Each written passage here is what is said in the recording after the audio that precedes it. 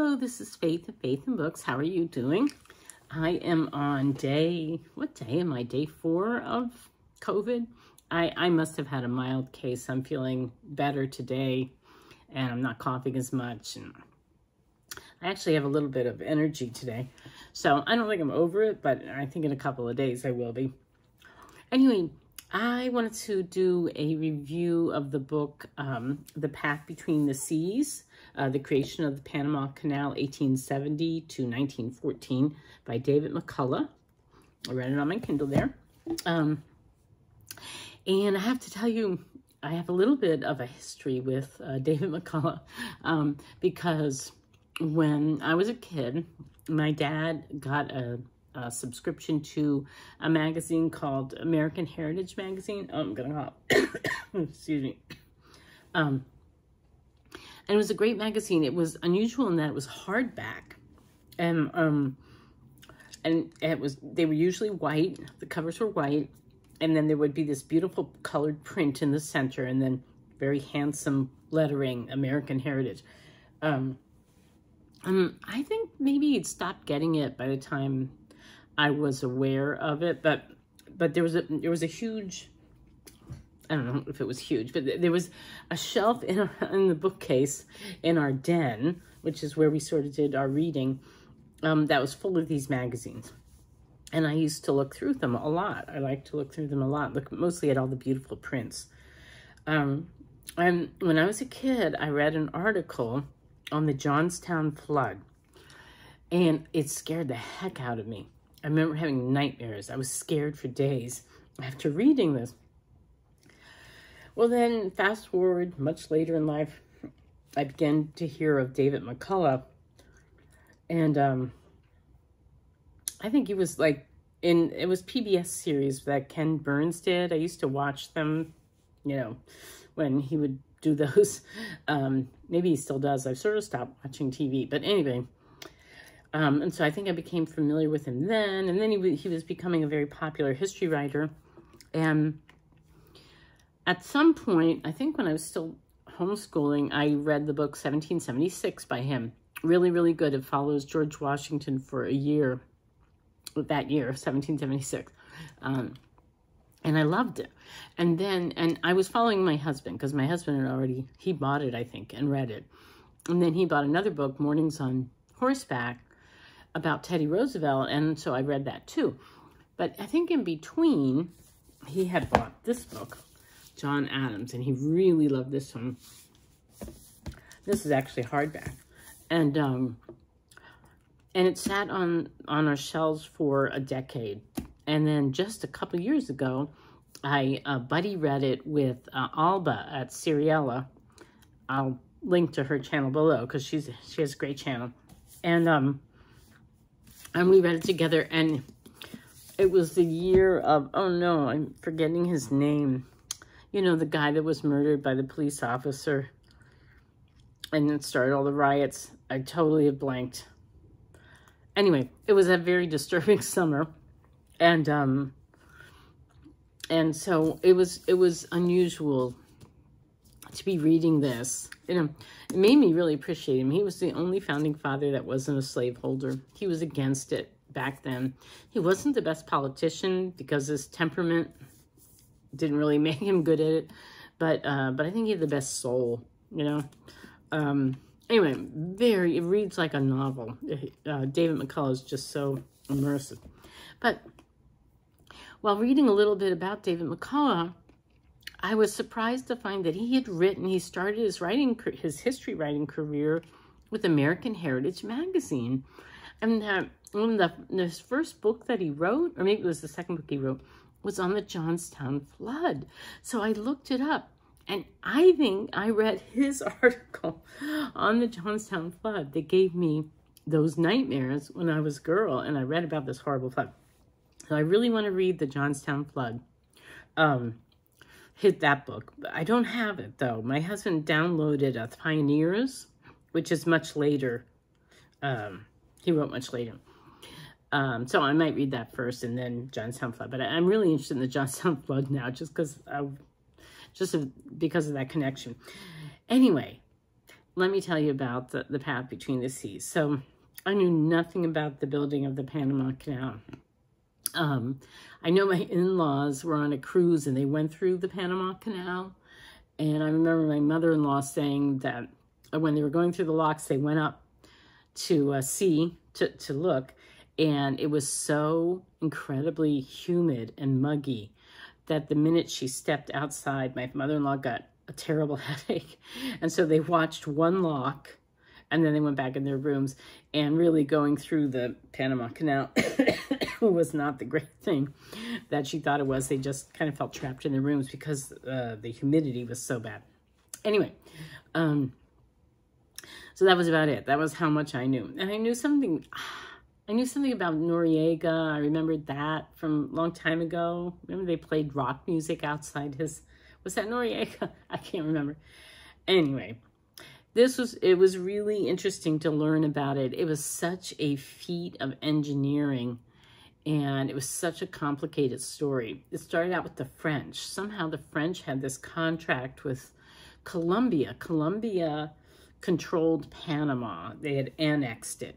So even though it was seen as a separate entity, it had, it was it was part of Colombia. Colombia governed it. And um, so, um, so the French had some sort of contract, and the French, of course, had built the Suez Canal with the Egyptians, and uh, the guy, de Lesseps, something, uh, who I'd never heard of, but apparently was this great French hero and figure, was the one who had supervised the building and inspired the building of the Suez Canal. I had no idea that the Panama Canal and the Suez Canal were in any way related. anyway, so this guy, um, uh, de Lesseps, I never quite got his name, um, was this great hero. And so he was determined to also build this, the canal that would, um, you know, through the isthmus of, of uh, Central America.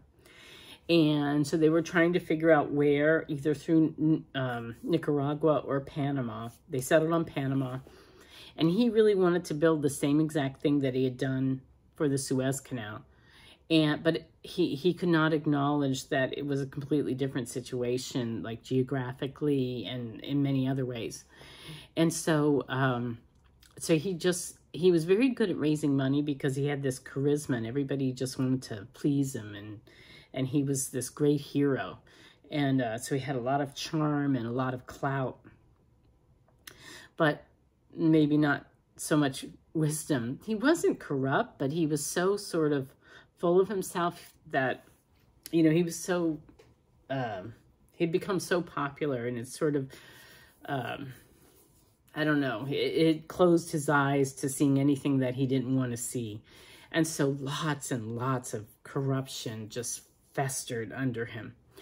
And uh, and his son uh, took over after him and and really was trying to manage things. And it was just so out of control. So it was this great scandal in france. Uh, they were trying to build it. And um, just defeat after defeat. They didn't have uh, the equipment they needed. It was a much harder job in panama than in in this in suez in, in egypt. They didn't have the workers. The panamanians did not want to participate. And um, they're very resentful that these, you know, gringos had come in and tried to tried to take over, and um, and so uh, it it really and and the, the, disease there was terrible terrible uh, yellow fever and malaria, and so it was just a terrible situation. They kept trying, they kept trying to refinance. There just all sorts of things were going on, and finally the whole thing came toppling down. And um, so then the U.S. wanted to get involved. And, um, and this was all when McKinley was president, and then he gets assassinated, and then Teddy Roosevelt becomes president. And Teddy Roosevelt was really gung-ho for the Panama Canal. He went down to visit um, just one time, though. Um, and uh, so the Americans came in and the Americans appreciated how much the French got done in spite of the fact that they had lots and lots of obstacles. Um, but the the wise thing about, well, it took the first couple of false steps. but what happened was they got a guy, Stevens, who decided that the first thing they needed to do was build a, a, solid infrastructure. They had to get rid of the disease. They had to build a place where the workers were, were you know, could come and live. And they had to get uh, better machinery. Oh, well, what he really, the number one thing was the railroad. He had to make the railroad that went across Panama work for digging the canal. So he really focused on all that stuff. And what was, to me, the most fascinating part of the whole story was fighting yellow fever and malaria and how they did that. And there was this doctor, Dr. Gorgas, G-O-R-G-A-S, who was this hero that, that figured out, I mean, other people had sort of had ideas, but he was the one that really did it. Um, that figured out what mosquito caused yellow fever and how to get rid of it. And it turned out that what people would do is, that, you know, there's so many insects in Panama um, that the insects are always climbing onto your table. You know, you can't get away from them.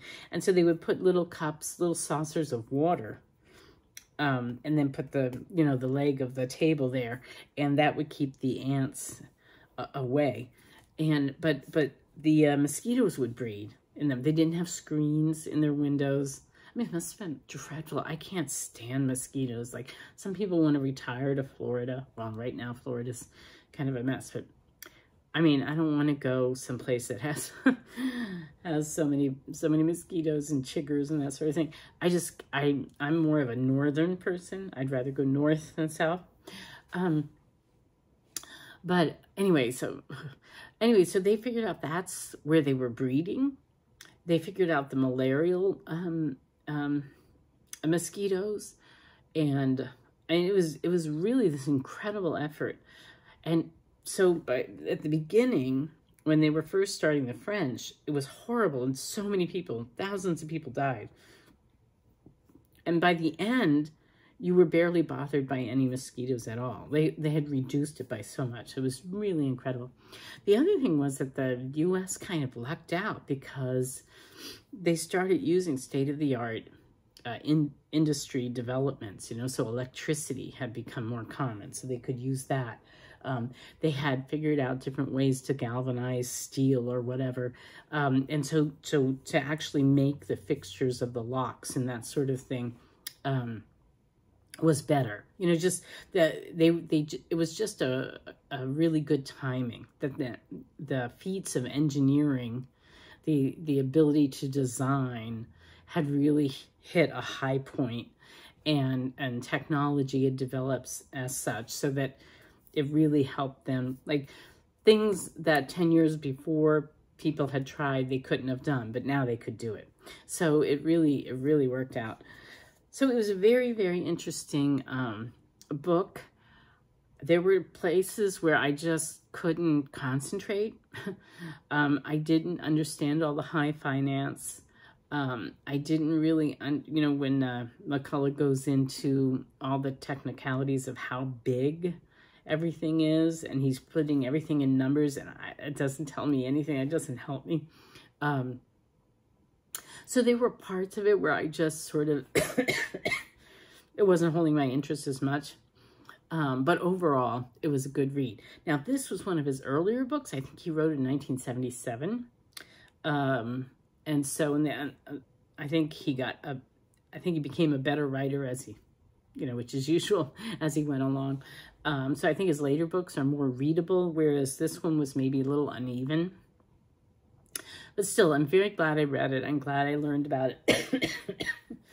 um, yeah, it was a very interesting, uh, um, you know, part of history that I, I did not know anything about. And, and um, he, uh, McCullough goes into how they kind of created this perfect little society for white people, but but um, the West Indian people that had come in, like from Barbados and stuff, who did a lot of the work for the Americans, um, they were treated very differently, of course. Um, so yeah, it was a very interesting book. I'm, I'm glad I read it. And I do have a goal. In my head, I wanted to read more David McCullough. But since he passed away recently, I, I really want to read everything. So, um, so I might read The Pioneers or The Johnstown Flood next. But yeah, uh, I really like David McCullough. I think he's uh, a great writer. So I don't know if I've made any sense and I've talked too much. So I will say goodbye and I hope that you are reading something interesting and, um, you know, happy reading and take care. Bye-bye.